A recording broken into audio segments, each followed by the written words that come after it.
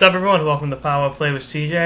Today we're going to focus in on the uh, uh, five-year extension the San Jose Sharks give defenseman Marc-Edouard Vlasic worth an average of uh, $4.2 million a year for a total of $21 million. Uh, 25 years old uh, for the Sharks, was drafted 35th overall.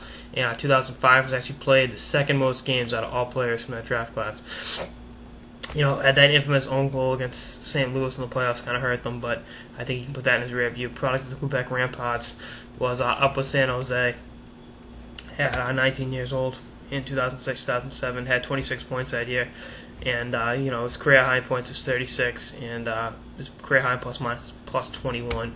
So you know pretty good defensive defense. We can shut down your best guys and you know continue to move the puck. Good size at 6'1", 200 pounds. Uh, you know, I like the deal. I think when you look at the Aronis contracts that were handed out during the offseason, I think this one isn't uh, too bad. Uh, you know, I think you're paying for what you you know what you see is what you get. You know, it'll shut you down. It'll make you tough to play against. And I, all things considered, that own goal against St. Louis was able to bounce back and not be atrocious. I think that was like you know moment, he looked at that as momentarily lapse in judgment and was able to you know play hard and play great. The rest. I mean, not great, but you know the fact they got that game one win in that series is borderline miraculous.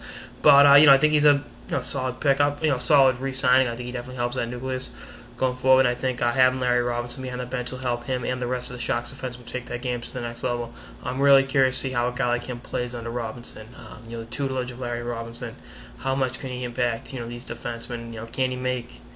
Can he help their defensemen get over the hump to make it easy for their forwards to make that long playoff run and ultimate Cup final run that the fans in San Jose have been waiting for since the Thornton deal went down six and a half years ago. Now we'll see how it all shakes out. Pretty, I think, like I said, good signing. Uh, you know, not breaking the bank, but you know he's, he's making money. Uh, the team's not really overpaying for him, and he's you know can continue what he does what he does best. So uh, all around, give it you know an A signer. Uh, and like I said, I'm curious to see what guys like him do under Robinson next year, under the tutelage of assistant coach Larry Robinson, Hall of Famer, one of the greatest defensemen of all time. Uh, that's all I got in this episode of the Power Play with CJ on the San Jose Sharks re-signing Marc-Edouard Vlasic to a uh, five-year deal. Stay tuned for more episodes throughout the offseason and beyond. Later, guys.